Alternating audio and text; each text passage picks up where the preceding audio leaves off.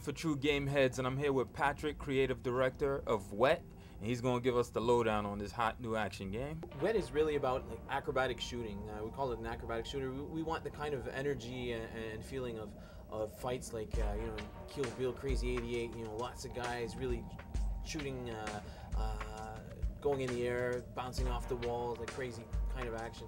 We're mixing shooting, sword, and acrobatics all into one tight combat system. Really fluid, fluid action. You don't have to interrupt anything. You can go from one thing to the next.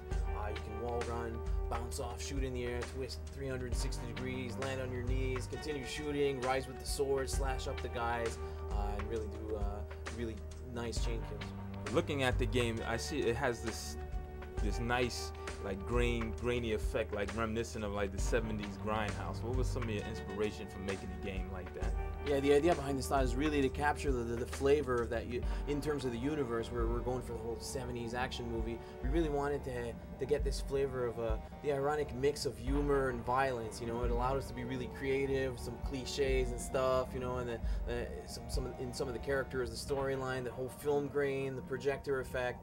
Uh, it's really a, a universe that we can have a lot of fun in, not take ourselves too seriously, and really push it over the top. You know, in every aspect she has like a sick arsenal move. Can you tell us a little bit about some of those moves?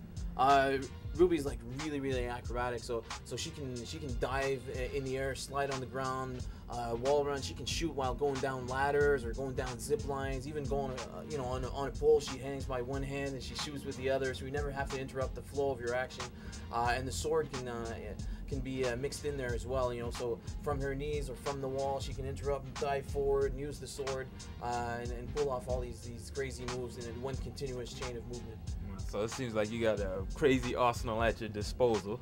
Now, one of the things I saw in this in the uh, demo was a, a, mode where it seemed like the characters was all black and then the, everything else was red. Can you tell us a little bit about that? Yeah, we have a mode called, called Rage mode, uh, and it's really like Ruby getting sprayed with blood and just like losing it, snapping it. It's kind of like a, a, little adrenaline rush for players, so they, can just let loose. Uh, they're moving faster, they're inflicting more damage, and you don't have to worry about anything. Uh, their health is regenerating, so they're not invincible, but they're like really, really powerful, and they can just you know bulldoze their way through enemies. And it's this really style stylized look to it, like you said, uh, and it's really the idea of like blending the style into the gameplay. So they can there are different moments like that. And we use it for uh, changing the pace on players a little bit. And, you know, like the old uh, bonus rounds in the old school the action games. You know, that's that's the kind of feeling that we're going for. Um, from the demo, I saw that she has a katana blade and then two two uh, revolvers. Does she have any other weapons that'll be at her disposal? Yeah, throughout the game, you, you get to unlock some of her other weapons. So she she gets like dual shotguns at one point, then dual submachine guns, and eventually she gets like dual crossbows that shoot like the, the explosive arrows. You know, like the old Dukes of Hazzard style explosions. You know, so nice. with area damage.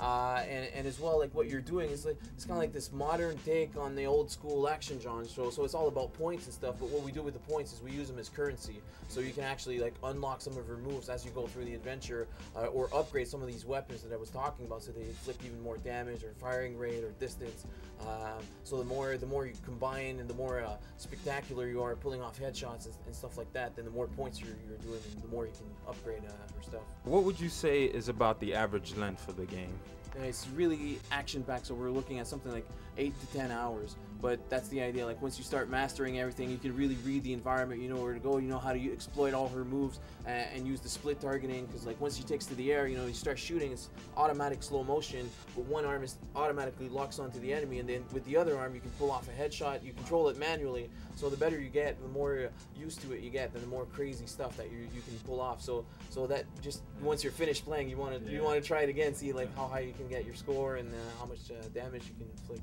Yeah, I'll, I'll, definitely. That sounds definitely like something that people want to do. So it sounds cool. So when can we expect the release date? It's coming out this fall for both uh, PS3 and 360. Oh, nice. Well, the game is definitely looking tight, and I'm looking forward to playing it. I'm sure a lot of gamers out there looking forward to it too.